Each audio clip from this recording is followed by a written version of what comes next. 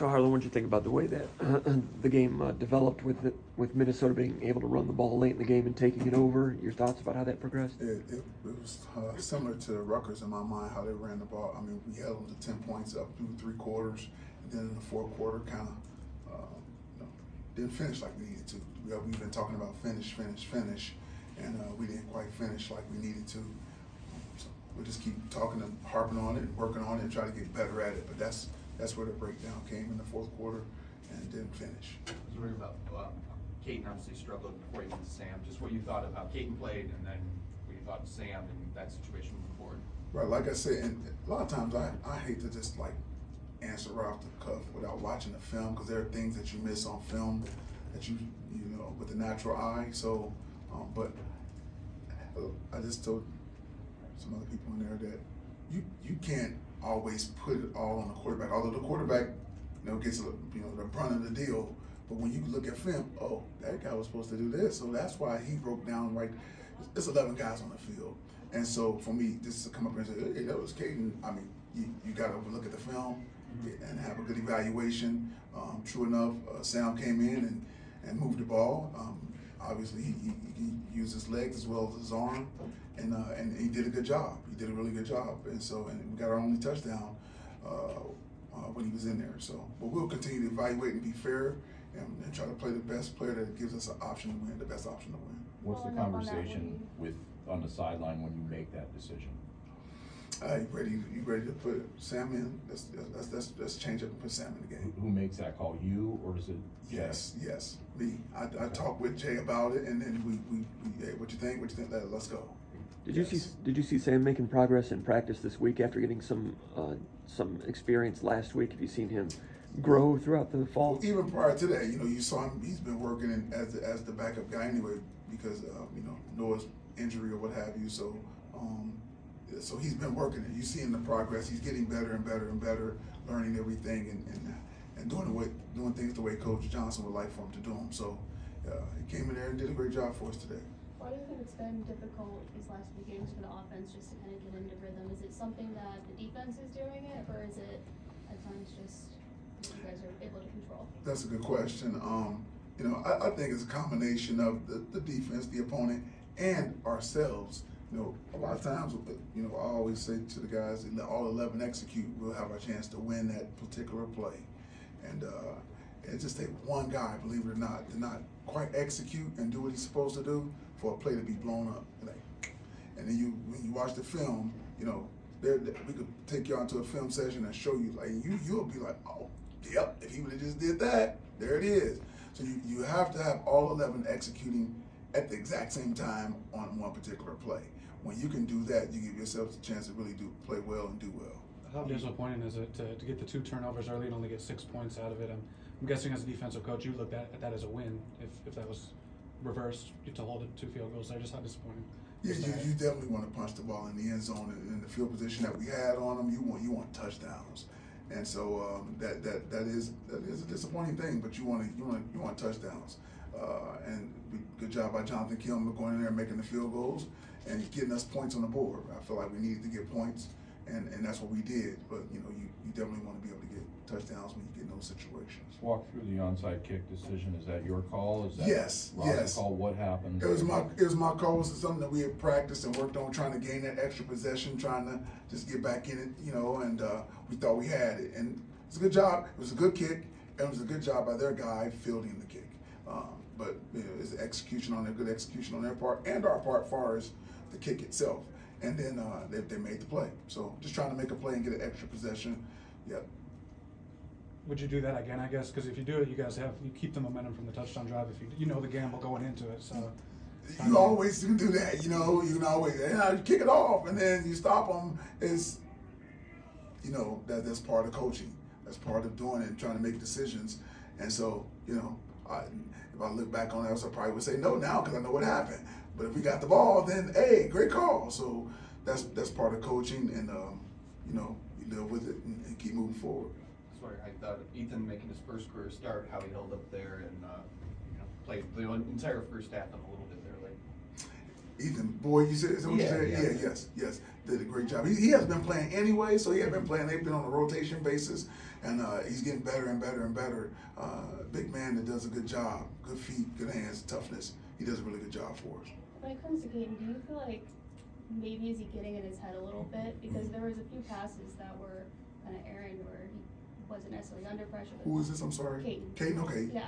Do you think he's is he getting in his head? I mean, I know he's a young quarterback with not a lot of experience, but So now I, that would be that would be me guessing how he feels, and I, I can't do that. But um, you know, he's a competitor. He, he loves to play the game. It's you know, we're we're we're, we're not playing as well as we want to play, and uh, and he wants to play well. You know, and, and so and he knows the quarterback gets a lot of heat for things that happen.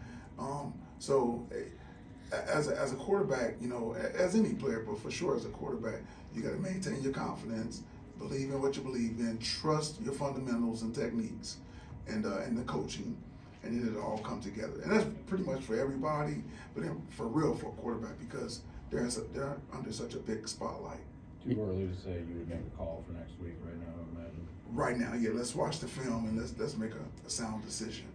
You shuffled the defensive backfield a little bit. It looked like Malik Spencer was in the nickel area and Gross was back at safety.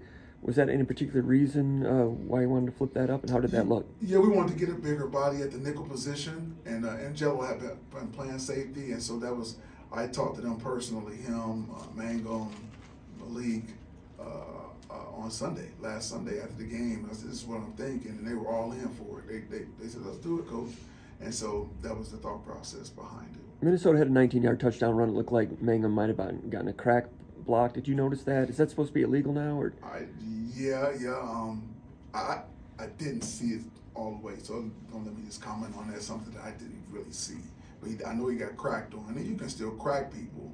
You just can't you know um, you know throw your head in there and, and spear them basically. But there there there are legal cracks that you can do, uh, and we got a crack replaced. Um, there was some other things on that play that it shouldn't even have got that far, to be honest with you. But it is what it is. Do you expect Maliq Carr to be out for long? Uh, not that long, not that long. I, you know, he, he has uh, injuries trying to deal with, but he'll he'll be back. He'll be back soon. I think it was uh, Simeon Barrow that had his hand, got his hand on that field goal uh, early on. Um, you talked a little bit about his decision to come back on your radio show, but what does he just bring to you, um, to this team, and what did it mean to get him back? He brings leadership. He brings enthusiasm. He brings toughness, uh, and he, he's a really good football player. And so he brings all of that to the table for us, and, and he has respect of his teammates. And uh, so they love him. We love him, and and, uh, and and he loves us. And so that that's what he brings. He brings a, a guy that that you know has been here and been through some things with us, and uh, and has played well and done really well. Earl, Got what time does for a being couple on- more before players. What, what does being on the field for 20 minutes as a defense do to you in the first half? for 20 minutes. Yeah, it, get- you, well, we did a good job. First of all, we did a good job. When you can, if you can be on the field for 20 minutes and you hold them to 10 points, that that's pretty good. And we knew that's what their ball control offense. They let the clock tick way down, tick, tick, tick, tick, tick, and then snap the ball. We knew that going in. We told our guys about that. And so that can be deceiving if you look at, you know, the number of plays is really what you're looking at as opposed to the time because they're going to let that, that clock count down to inside of 10, maybe 8, almost every time. And so, um, but our guys held up. I think they did a really good job again through three quarters, 10 points. That's that's a heck of a job. And we had found a way to build on that. Does, But- does that, does that possession time though, when you get late in the games and fourth quarter start to wear on guys? It can, it can, because it's too much time on the field. It can, absolutely, and uh, and so that's why we got to, you know, have complementary football. You know, and the offense is also doing their part as well, and special teams, and, and as well as the defense. Just wondering about your messaging, Harlon, after, and that's how you address these guys this time. I know you've been in some close calls. And is it getting harder to come up with stuff to say, I guess, or just how to, Uh, I, I, can tell you this: um, it's, it's it's not something pre-planned, obviously. And I just start talking, and I, and I just think about how to, I'm a natural encourager. That's who I am, and so I'm I'm always thinking in positive lights. And so um, I, I just told them, hey man, we got one more game, one more home game, uh, Spartan Stadium, the Woodshed, our seniors' last home game, you know, against a team that we feel like we should be able to compete against. All right, and so let's send the seniors out right. That's one thing I said. Another thing I said was, it's the month of November, and most times in the month of November, uh, you say November is for contenders, as old saying, right? Now, although we're not contending for a championship, we are contending for Spartan pride. We're contending for Spartan Nation.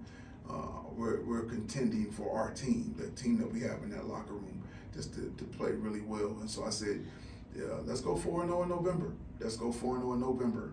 Um, and, and that's the mindset uh, where we are right now. Uh, a lot of teams in the history of Michigan State haven't gone 4 0 in November. And so we would have that opportunity to be able to do that. So let's, let's try to take advantage of that opportunity, regardless of who we play. Um, we just got to learn how to finish and, and be disciplined in doing it. I got one more from Matt. Uh, Jordan Hall obviously continues to progress, a couple sacks, uh, forced a fumble today. Um, you thought him and Chance being a true freshman going against a pretty talented receiver there, uh, good portion of the game.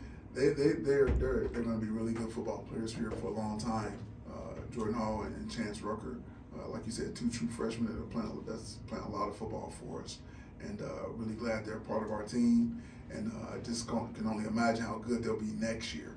They'll be even better uh, after another year in the weight room and eating right and all those type of things, getting stronger and faster. So, uh, yeah, the future is bright for both of those guys. All right, thanks, coach. Appreciate it. Yes, sir. And Bring a, bring a couple players around the rim, not at the table. Yep.